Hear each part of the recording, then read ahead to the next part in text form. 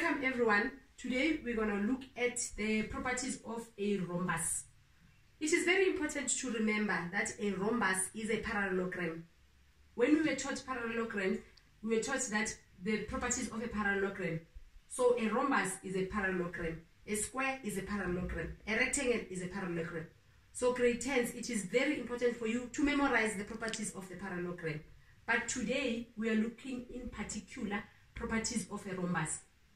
But the first four are properties of a parallelogram and then the last two are specifically for a rhombus. Um, except for that one. The, uh, let's start with the first one. The first one says both pairs of opposite sides are parallel. And then this one, with all the other parallelograms except for a rhombus and a square, it says opposite sides are equal. With a rhombus and square, all sides are equal in length. And then the next one, both pairs of opposite angles are equal. And then the diagonals bisect each other. The diagonals of a rhombus bisect each other. The diagonals this one is specifically for a rhombus. The diagonals bisect each other at 90 degrees and then the diagonals bisect the interior angle. In grade 10 you are required to prove this conjecture and you are required to prove this conjecture. So in this lesson, we are particularly going to prove the two conjectures, but both of them are done in one proof. So you need to memorize this because except for proving the conjectures, we are supposed to apply the information to find sides and find angles. So we're going to find sides and find angles based on these properties of a rhombus. So let us go and prove the properties that they bisect each other at 90 degrees and that the diagonals bisect the corner angles. We're going to draw a rhombus. Uh, all sides are equal and then we're going to call our rhombus A, B, C, D. This rhombus, we're going to also draw the diagonals. So we have diagonal DA and diagonal DC.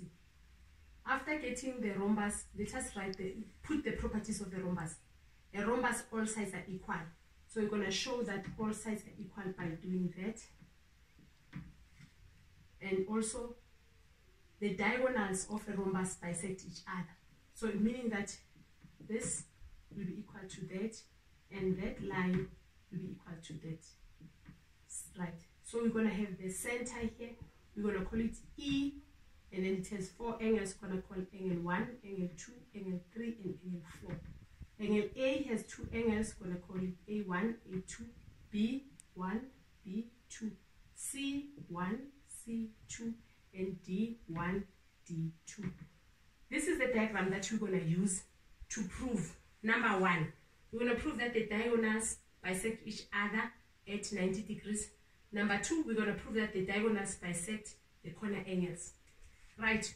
You remember when when we're looking at a, a, a theorem and we are, we are supposed to do a proof, we're supposed to write what you are required to prove. So in this question, you are required to prove that the diagonals bisect each other. So it means that angle E1 is equals to angle E2 and they are both equal to 90 degrees. So that's the first thing that you're going to prove. So that is what we are required to prove. We are required to prove that angle E1 is equal to angle E2 and both of them they are equal to 90 degrees because the theorem says that the diagonals bisect each other at 90 degrees. But this particular theorem has two things that you prove. This is the first thing that you prove.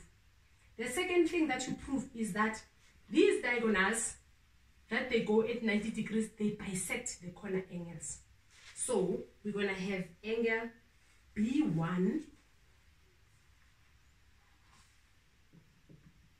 angle B1 is equals to angle B2. That is what we are required to prove. Angle B1 is equals to angle B2. If you can prove that, the second part of the theorem is correct.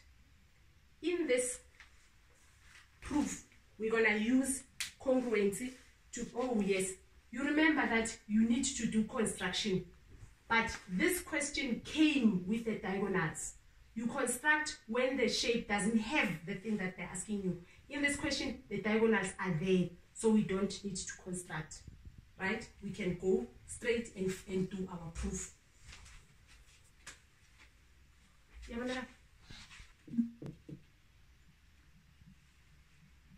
Must I move the board? Okay. This is what we are required to prove, so we're going to start with our proof. So, with this theorem, we're going to use congruency to prove. So, we're going to choose triangle A, E, D, and triangle A, E, B. We're going to prove these two triangles that they are congruent. If they are congruent, then they are equal in all respects. So we're going to write in triangle A, E, D, and triangle A, E, B. Then we're going to find three things that can make us say these two triangles are congruent. We have line AB in the first triangle, AD, this line AD is equals to AB in the other triangle.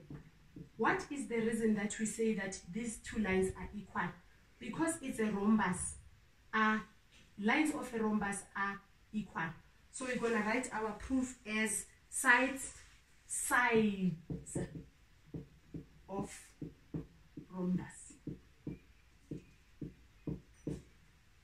You remember with the properties, one of the second property there was all sides of a rhombus are equal.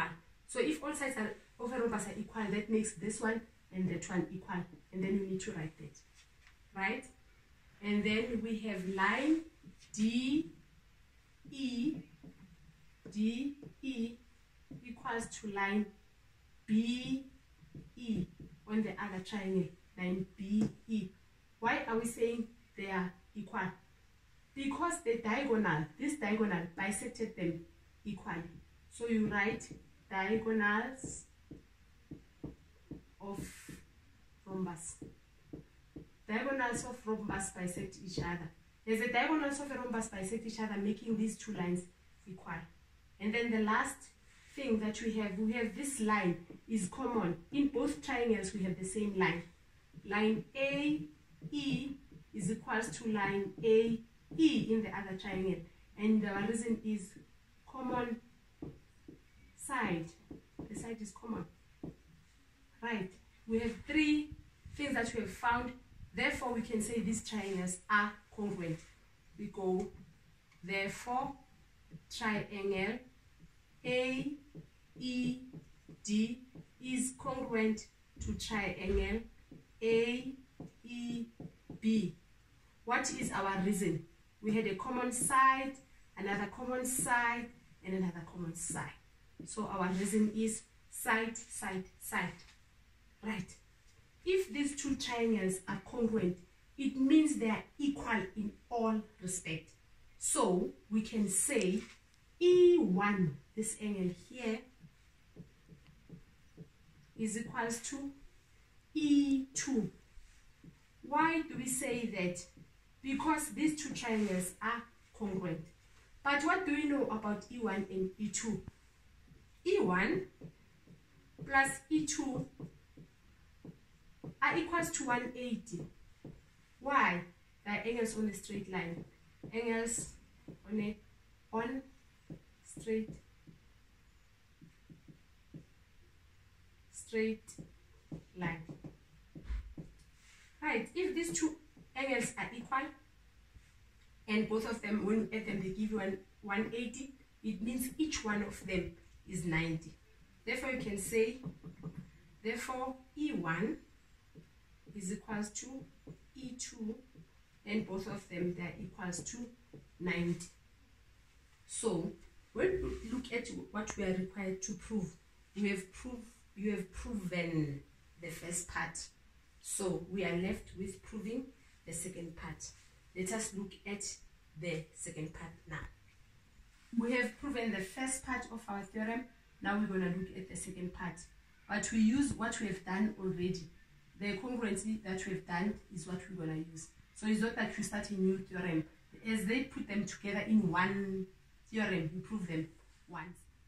Right, we're going to do the second part of the proof, but we're going to use the congruent um, triangles that we have proven already.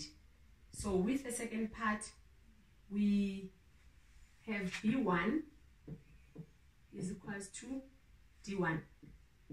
Why are they equal? We're going to use the, the congruent triangle. Triangle AED is congruent to triangle AEB. This wave is proven already. Now, I have angle B. When you look at this one, we have parallel lines. Par line CB is parallel to line DA because it's a rhombus. A rhombus is a parallelogram. Opposite sides are parallel. So I'll have this angle B2 this is my Z. My alternate angle goes like that. That's my parallel line. Then I go like this. Then my other parallel line. So I have B2 is equals to D1. B2 is equals to D1. What is my reason? Those are alternate angles. When you're using parallel lines, you have to say which parallel lines did you use. BC is parallel to D1. But when you look at here, B1 is equals to D1. B2 is equals to D2. They, they are both equal to D1. So therefore, I can say B1, angle B1 is equals to angle B2. Then we have proven that the diagonal bisect the corner angle because bisect means cut into equal parts. So these two angles are equal. We've proven that. This is the end of our proof. Thank you.